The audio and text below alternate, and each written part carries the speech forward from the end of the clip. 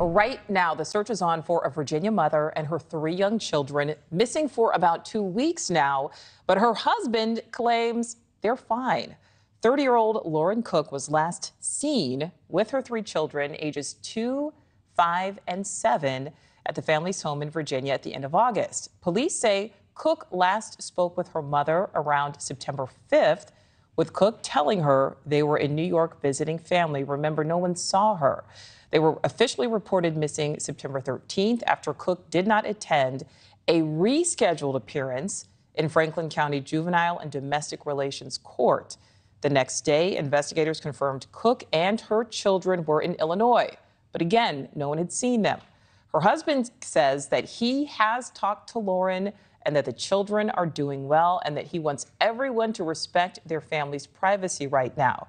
But the rest of Lauren's family says they cannot get in touch with her. Let's bring in News Nation law and justice contributor Jennifer Coffindaffer, who joins us live from CrimeCon in Orlando, Florida. Uh, Jennifer, thank you so much for being with us. I want to talk to you about CrimeCon, but first, I want to talk about this case. Um, so the husband here, Lauren's husband, says things are fine. Law enforcement, though, you know, says Cook and her kids will remain on the missing registry because that's their names are on the missing registry. What do you think's going on here, Jennifer? Well, I think what's going on is the husband is not being truthful and is not being completely candid. Her cell phone doesn't have usage. There are no bank records that are being used. In other words, she's not using her credit cards, she's not using her bank cards. That tells me a lot right there because people don't disappear and leave their husbands without using their monetary resources and without using their phones. You know, so Jennifer, it seems like it would be difficult, as you say, you know, no cell phone usage, no credit cards. It seems like it would be difficult to do that, especially with three young children in tow. Again, we're talking about ages seven, five, and then two, but it is not out of the realm of possibility. Is it possible that maybe Lauren left her husband and doesn't want to be found? I don't think it's possible in this case. Certainly, they're going to be checking it out. But if you look at the fact that Nick, NCMEC, the National Center for Missing and Exploited Children, they have already issued that these individuals are missing. Why? Because they've conducted their own investigation, which has shown that they're not in school, that there's been no sign or trace of them. That tells me the facts are leaning toward they haven't been taken of their free will.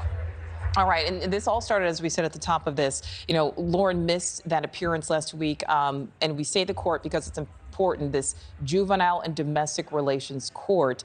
And then that date that she missed had actually been rescheduled because she missed the original scheduled court date the week before. Now, it's also important to note in all of this, there is no record, absolutely none, of domestic violence or 911 calls coming from their home. So, how does all of this potentially complicate the situation? Well, it does complicate the situation, Nichole, because those courts specifically deal with things like child abuse. They deal with issues like uh, separation and custody matters to do with children. So it tells me, obviously, something very important was being discussed about those children. And the fact that that was missed and she went missing right at the same time, I think is a critical component to the why.